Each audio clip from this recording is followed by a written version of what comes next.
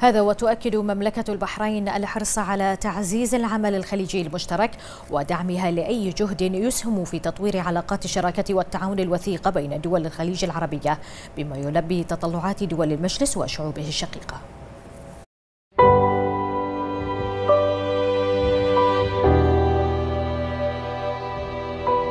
thank you